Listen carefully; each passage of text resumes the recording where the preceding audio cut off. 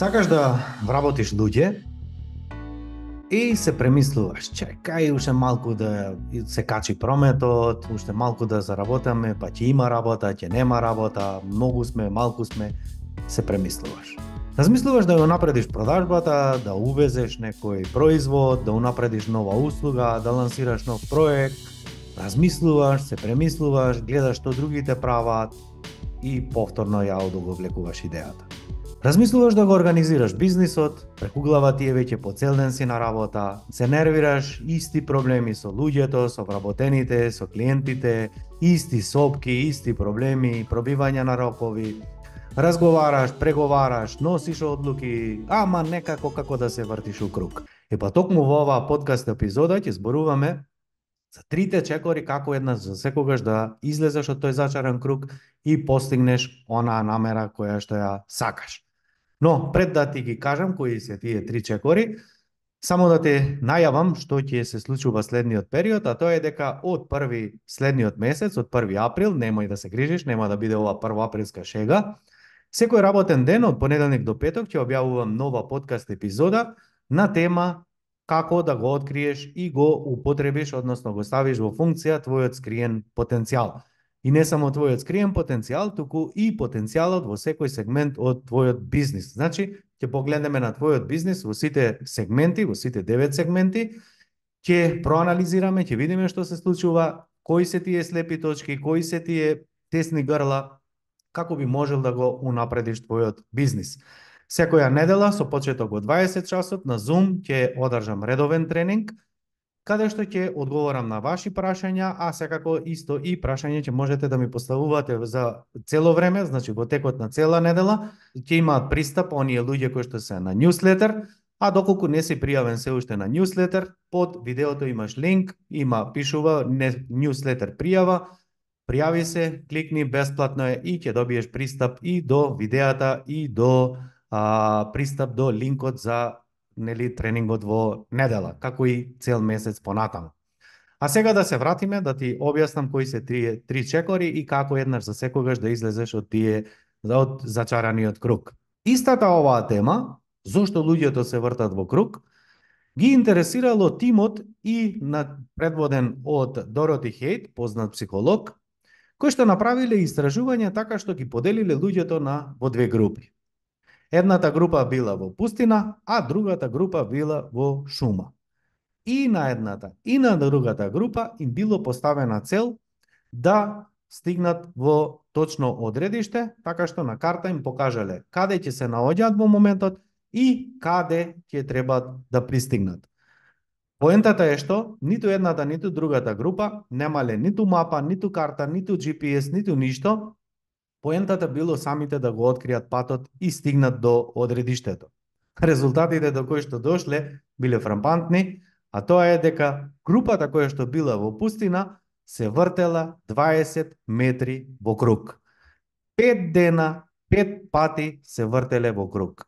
Втората група која што биле во, во шума се вртеле близу 100 метри во круг но и едната и другата група постојано се вртеле во круг. Заклучиле дека кога луѓето немаат јасна референтна точка како да се споредат, во која насока се движат, едноставно природно е да се вртат во круг. Оној пат кога се подпираме на нашите сетила, ние сме ограничени. Ограничени и нашиот вид. Од толкав широк спектар, ние гледаме само мал сегмент. Од толкав широк спектар на формат, аудио формат, ние само слушаме од 20 Hz до 20 килохерци.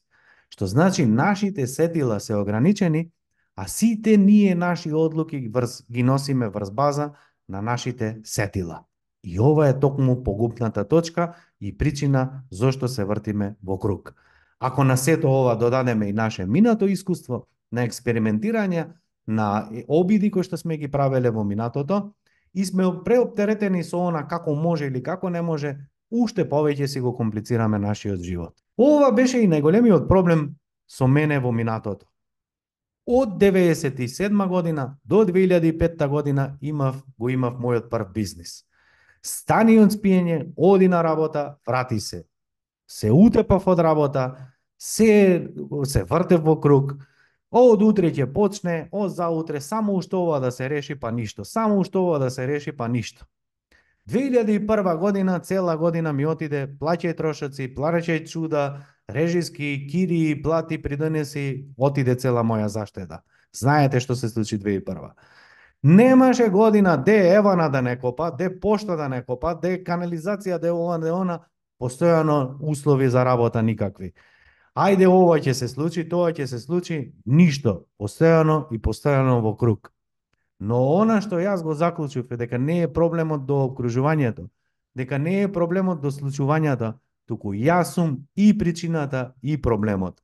Затоа 2005 донесов одлука да го затворам својот бизнис, да се вратам назад, ако треба и 10 чекори, но наредниот пат кога ќе научам, кога ќе дознам што е се моите проблеми, зошто не знам да водам бизнис, зошто не знам да го насочам мојот бизнис како што треба да расте и да се развива и да уживам во животот, едноставно нема шанса да тргнам.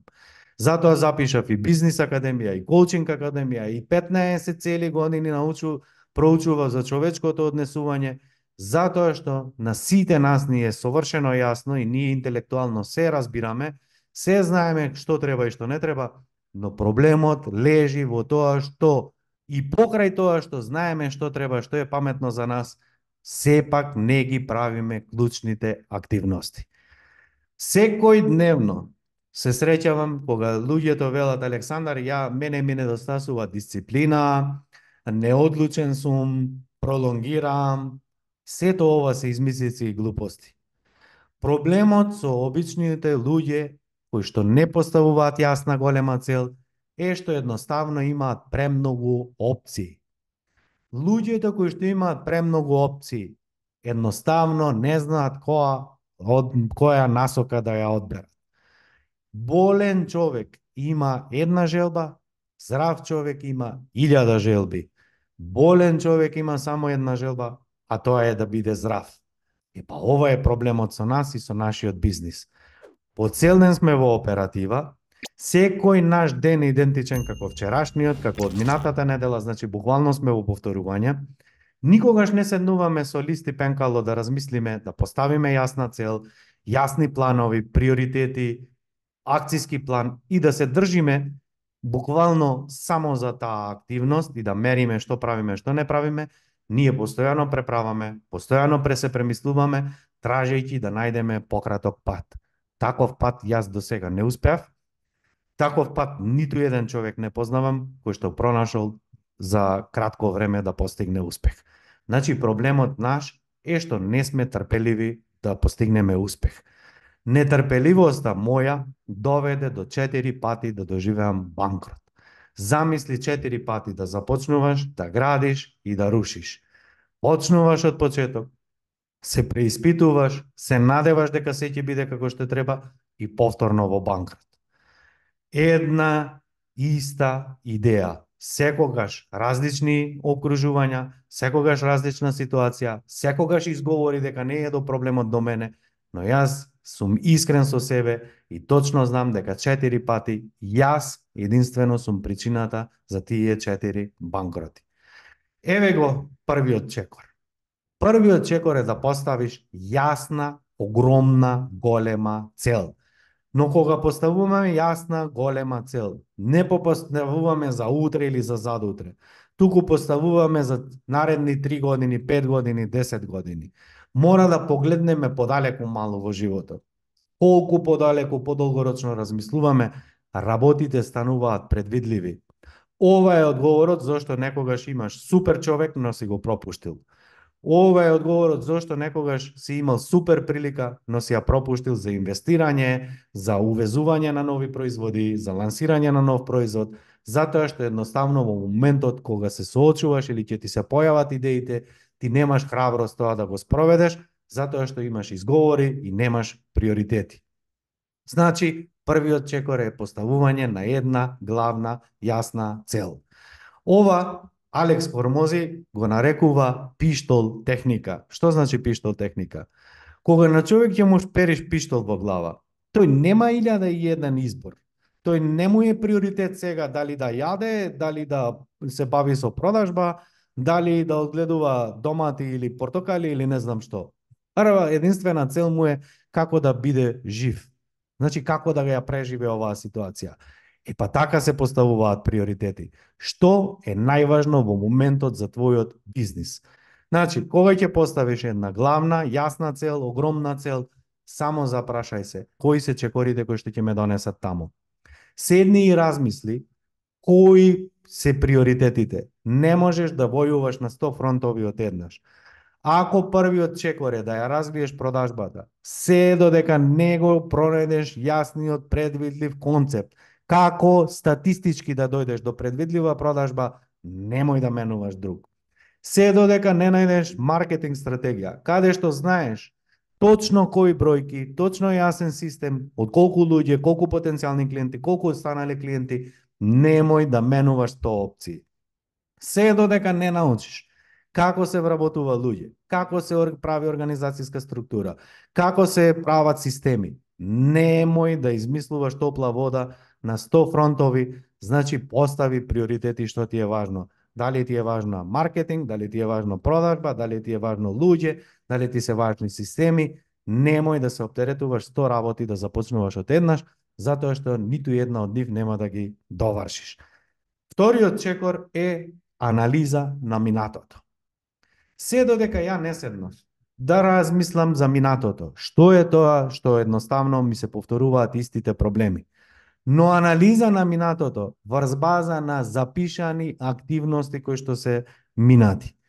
Јас скоро и не познавам да човек кој што е успешен а да нема роковник, да нема дневник, да нема запишано приоритети, да нема запишано чекори, да нема запишано активности, кои што ги запишува и точно знае која му е денешна намера, една, две или три во текот на денот. На крајот на денот да застане и да направи анализа. Што сработал, што не сработал, зошто сработал, зошто не сработал. Значи, се додека ти не ги запишуваш дневните активности, се додека не поставиш клучни три, максимум три задачи во текот на денот, едно и не ги запишуваш, како ти ќе знаеш што треба да подобруваш. Познатиот гуру на менеджмент, Питер Дракер, има фантастична една изјава која што буквално треба да се ја запишеш, која гласи: Се што не мериш, не можеш да подобриш. Значи, ако ти не ги запишуваш, кои задачи работиш во текот на денот, Ако ти не запишуваш кои мисли ти се вртат во текот на денот, како носиш одлуки, без разлика дали се добри или лоши, ти никогаш нема да ја пронајдеш формулата за успех, а може би ти е, те дели само еден чекор тој успех. Третиот чекор е длабока искреност со себе. Јас можам во јасност да се прикажувам дека сум нешто или не знам што, но кога ќе се погледнеме во огледало, точно знаеме сите да го пронедеме одговорот колку ние сме способни, што е тоа што нас ни недостасува, што е тоа што ние мораме да го правиме, но едноставно бегаме од себе. Значи, нема шанса да постигнеш успех каков што сакаш, се додека не бидеш искрен со себе, што си добар, што е тоа што избегнуваш и не сакаш да го постигнеш. Ова е нешто поради кое што луѓето кои што се на програмот постигнуваат резултати отвараат 100 работи во почеток, се вртат во круг и едноставно не успеваат да добијат резултат. Тоа што го работиме јасно поставување на, на цел, јасен акцијски план и буквално секоја среда мора да дојде со резултати да видиме што е сработено, што не е сработено. Па, на пример, доколку треба да се вработат луѓе, се додека не вработиме луѓе, нема следен чекор. Ако сме се договориле дека треба да работи еден, двајца или тројца со овој профил со таков човек, и нареден, наредна среда доаѓа, вработи човек? Не. Вработи човек? Не. И па и кога не најдеме човек, ние ова ќе продолжиме. Не, не, не, не, не. Ова е проблемот. Ова е истиот проблем кој што те донел да се вртиш во круг. Знаејќи го сето ова, јас како ментор, не смеам да дозволам да ме свртат во нивниот круг, туку напротив, едноставно ги притискам да донесат резултати. Треба да се вработа човек, супер, најди човек. Не знам како, ќе ти помогнам, но најди човек. Си нашол човек, сме го пополниле местото. Супер. Е, сега ќе одиме на следен чекор. Е, ова е притисокот во соработка со ментор кој што ти носи успех.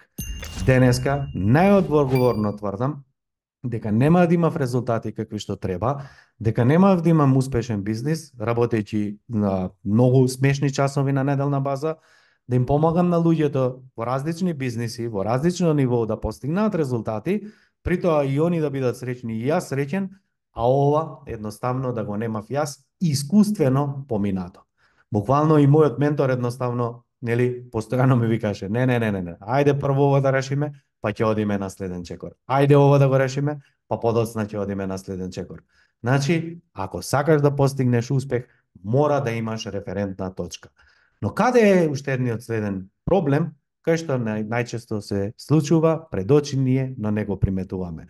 Како референтна точка, наместо да земеме самите со себе и акцискиот план и целите и намерите кои што ги имаме, ние се споредуваме со други луѓе и со други компании.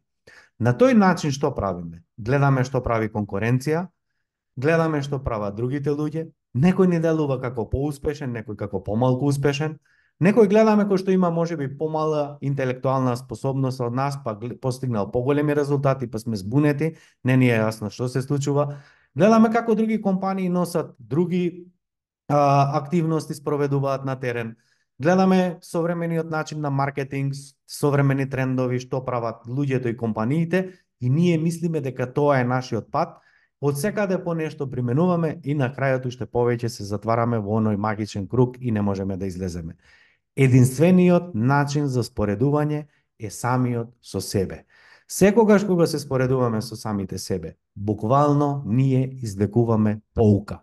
Секогаш кога се споредуваме со другите, влечеме грешни одлуки. Зошто? Затоа што еве и на мастермен кога ги гледам луѓето. Имаме 10 учесници. Сите 10 учесници се со различен бизнис, во различна фаза, со различни способности, со различни ресурси. И сега замисли, истите овие 10 луѓе да гледаат едно видео, мое или изборуваме на една тема, и замисли дека една насока, еден совет, на кој што ќе му дадам на еден човек, сите овие луѓе да ја применат истата таа, истиот тој совет. Дали ќе делува во нивниот бизнис или ќе биде контрапродуктивно? Ова е поентата кога конзумираме материјали, информации, содржини од книги, од видеа, од друго место, наместо да седнеме и да се анализираме себе си. Ќе слушнеме еден совет, ќе ни дојде како познато, а, ова е тоа што ми треба, ќе се почнеме да го применуваме, гледаме дека нема резултат, уште повеќе сме разочарани. Ова е кругот и ова е проблемот на денешното современиот денешниот современ начин на водење живот и бизнис. Денес Како никогаш не, до сега не биле достапни толку информации, книги, литература, видеа, подкасти, семинари, чуда се, и луѓето имаат куп информации, но не знаат да излечат што е за нивно најдобро, затоа што едноставно фокусот им е на надвор, наместо да се свртат кон себе. Значи, првиот чекор беше една голема јасна цел, твоја, не на конкуренција, нешто е тренди, нешто е интересно, туку твоја. Што е твојот животен повик? Каде сакаш да го носиш твојот бизнис наредните 10 години? Вториот чекор рековме длабока анализа, да видиш каде, како носиш одлуки кога имаш успех, како носиш одлуки кога не ти вроди со плод и да бидеме искрени и реални. И Toyota денеска, покрај 100 години постоење, ќе лансира нов автомобил и гледаш ќе го повлечат и ќе изгубат милиони. Истото му се случува и на Мерцедес и на, на било која компанија. Ќе лансираат производ, колку производи нели имаат лансирано и подоцна доживеале да длабока загуба. Но ние ова не го забележуваме. Ние не знаеме што се случува со другите компании, а нема компанија која што нема успешен проект. Ние ги гледаме само моменталните резултати и мислиме дека другите луѓе или компании се подобри од нашите. Тоа значи дека секој е на свој пат Секој оди со свое темпо.